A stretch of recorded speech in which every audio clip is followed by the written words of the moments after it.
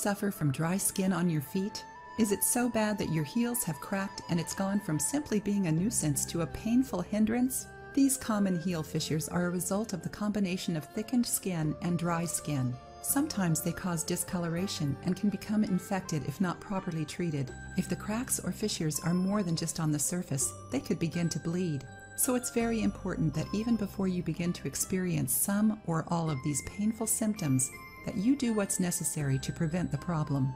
If you've already begun to see cracks and there aren't any infections that require professional medical attention, consider these home remedies. 1. Petroleum jelly and lemon juice. Mixing lemon juice with petroleum jelly normally takes care of any cracked heels quickly. First, you need to soak your feet in warm water for 20 minutes and dry them thoroughly. Take 3 teaspoons of lemon juice and mix it with 1 teaspoon of petroleum jelly. Massage the mixture on the affected areas and let it sit for at least an hour. If you'd like, you can leave it on overnight, making sure that you wear socks to protect your sheets. You should see results in one week. 2. Apple cider vinegar, honey, and rice flour scrub.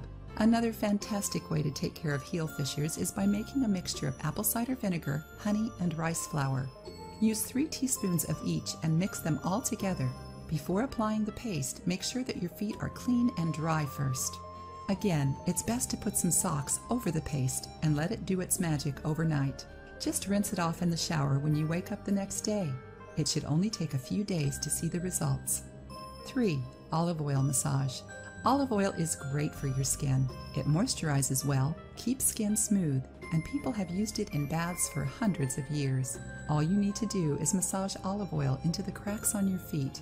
It will not only heal these small cracks, but will assist in good circulation.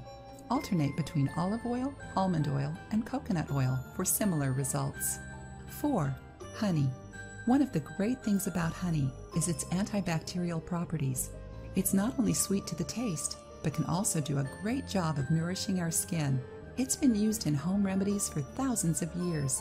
It's also very easy to use.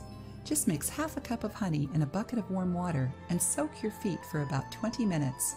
When your feet are good and moisturized, scrub them with a washcloth. You can keep up this treatment until you see the desired results. 5. Bananas. This is one that you may not be familiar with bananas.